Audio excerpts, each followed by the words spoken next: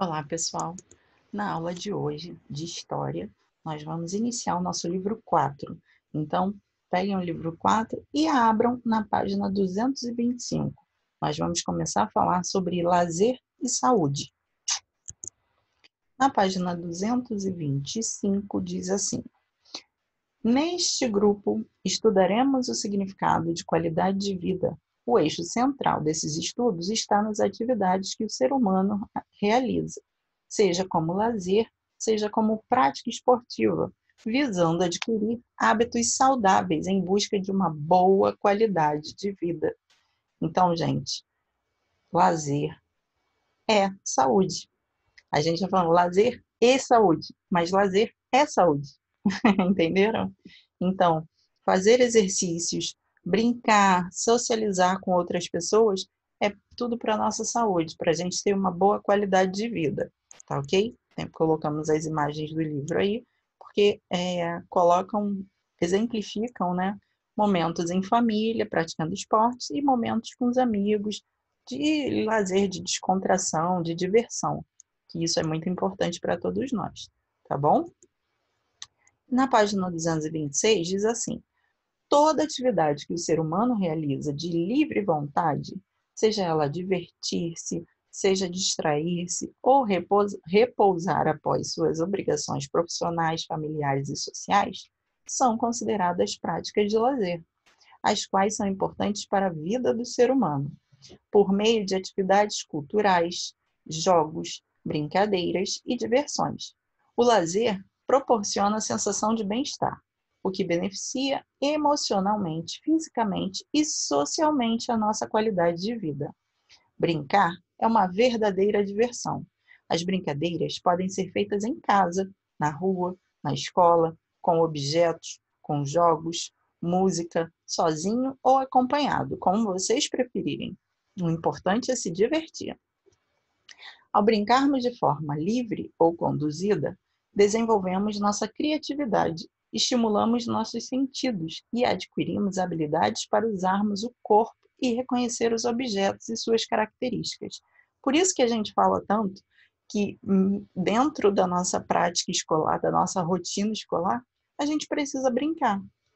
Então, tem muitos jogos que nos ensinam é, tanto quanto é, as atividades, os exercícios que a gente pratica.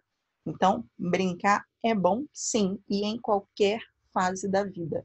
Não é só criança que brinca, não. Adulto brinca, adolescente brinca, idoso brinca. Todo mundo tem que brincar, porque isso traz um bem-estar e traz uma melhor qualidade de vida para gente. Tá legal?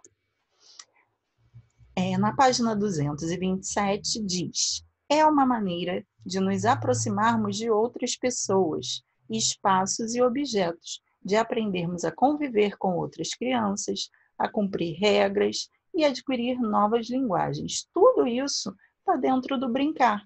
As regras, né? Quando a gente cons consegue respeitar as regras de um jogo, a gente consegue trazer isso para a nossa vida, né? Quando a gente tem alguma, alguma dificuldade, alguma, algum problema, algum impasse, a gente consegue é, resolver com maior facilidade, porque já aprendeu com os jogos, com as regras, com as brincadeiras. Então, é importante a gente brincar, tá ok? É muito mais do que uma simples brincadeirinha para descontrair. Isso é, faz parte do nosso processo evolutivo do, como ser humano, tá? Então, brincar é muito importante. Brincar nos introduz no mundo imaginário e faz a saúde. A Organização Mundial, Mundial de Saúde, OMS, Organização da ONU, Organização das Nações Unidas, define saúde como um estado de completo bem-estar físico, mental e social, e não apenas a ausência de doenças. Este órgão internacional alerta os países sobre a importância de se ter hábitos saudáveis, como a prática de atividades físicas, deixando de lado o estilo de vida sedentário, para prevenir evitar ou retardar o desenvolvimento de doenças e proporcionar melhor qualidade de vida. Quando a gente faz esporte, o nosso sistema imunológico fica mais forte. Então, a gente fica mais forte para não pegar doenças. Então, isso é um dos benefícios que nós temos quando a gente pratica um esporte, por isso é importante. E não precisa é, é, fazer um esporte muito elaborado. Em casa dá para fazer esporte. Basta né, fazer um exercício, fazer um, assistir um tutorial na internet, né, e fazer um exercício, ou simplesmente brincar, dar uns pulinhos. Criança que adora correr, pular, brinca em casa também, dá. A gente arruma um espacinho, né? O importante é se exercitar. Agora a gente está um pouquinho impedido de sair de casa e tudo mais, mas em casa também dá para fazer. E daqui a pouco, quando tudo isso passar, aí a gente pode fazer o nosso exercício onde a gente quiser, né? Na rua, na academia, enfim, onde a gente puder e quiser. As brincadeiras e o lazer se adaptam às mudanças e aos avanços tecnológicos, proporcionado, proporcionando à sociedade, à sociedade novas formas de brincar. Então, a gente precisa é, se adaptar com a evolução, tanto a evolução do tempo, quanto ao ambiente, a gente se adapta. O ser humano é um ser que se adapta. Então, assim, mas o importante é ter esse lazer, essa brincadeira garantida, né? A gente usa essa mudança, esses avanços tecnológicos ao nosso favor. Então, o importante é usar sempre ao nosso favor e não deixar de se divertir, de brincar e de manter a nossa qualidade de vida, a nossa saúde mental, a nossa saúde, o nosso bem-estar, tá bem?